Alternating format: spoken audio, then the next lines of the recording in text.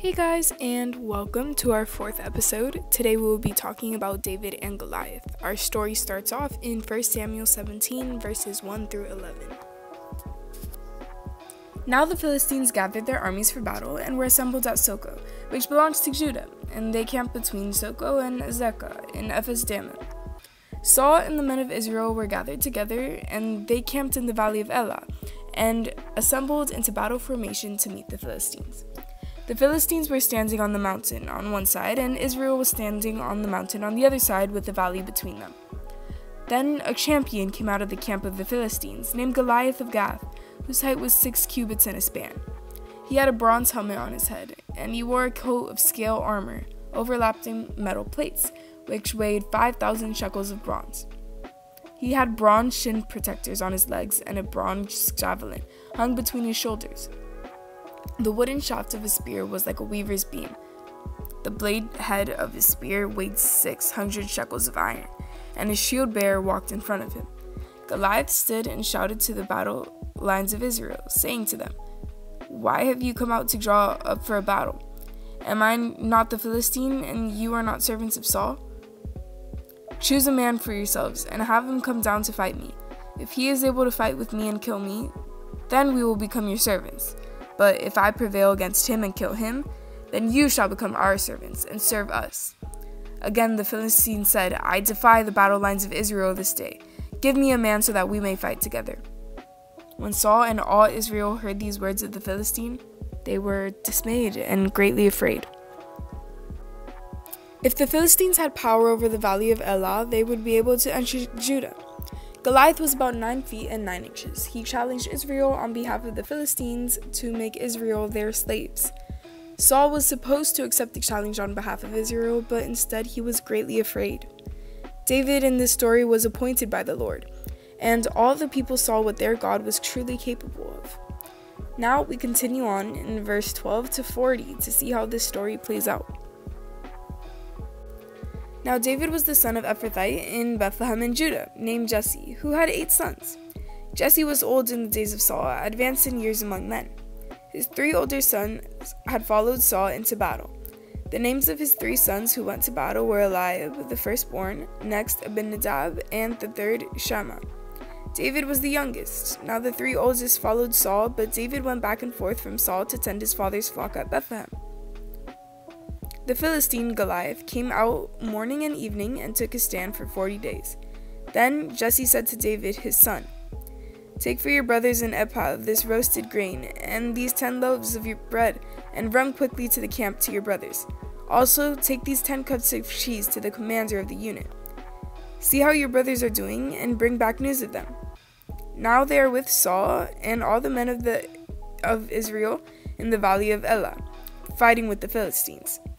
So David got up early in the morning, left the flock with a keeper, picked up the provisions, and went just as Jesse had directed him.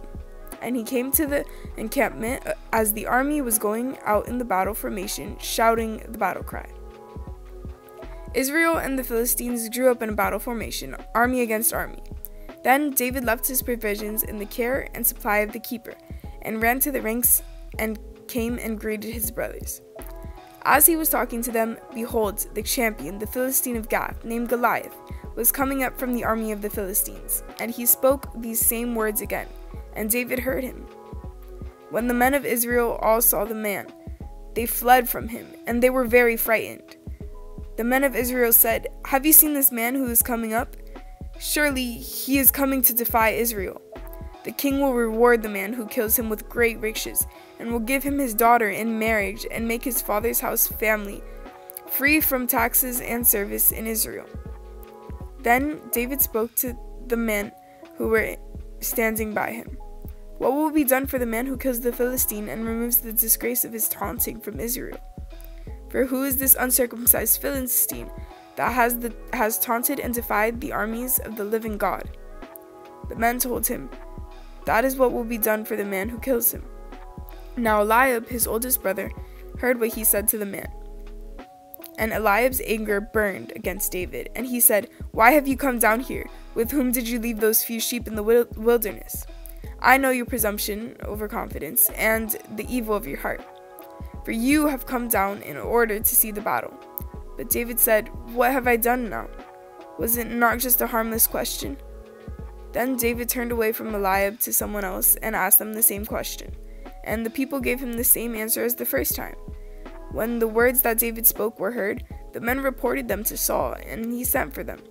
David said to Saul, Let no man's courage fail because of him, Goliath. Your servant will go out and fight this Philistine.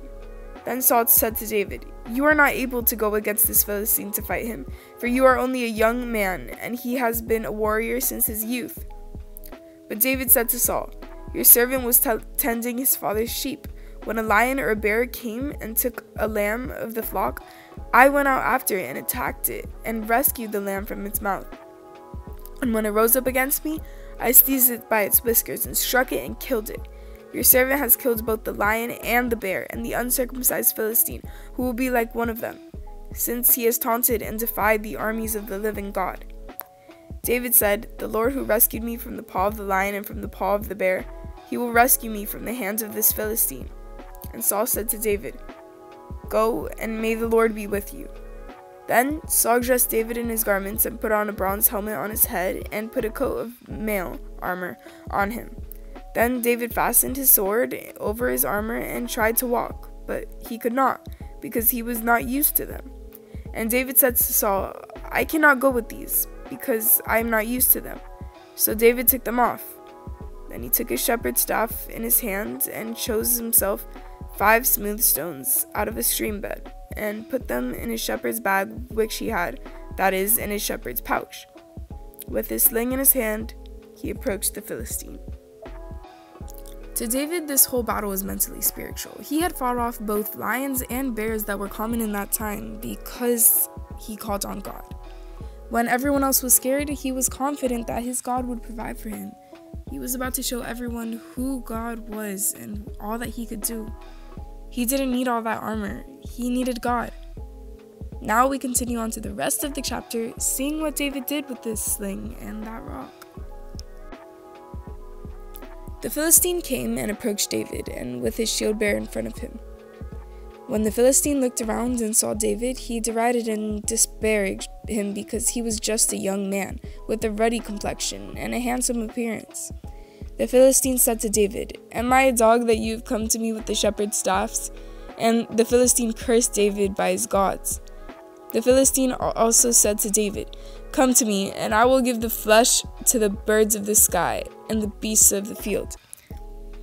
Then David said to the Philistine, You come to me with a sword, a spear, and a javelin, but I come to you in the name of the Lord of hosts, the God of the armies of Israel, whom you have taunted. This is the day the Lord will hand you over to me, and I will strike you down and cut off your head.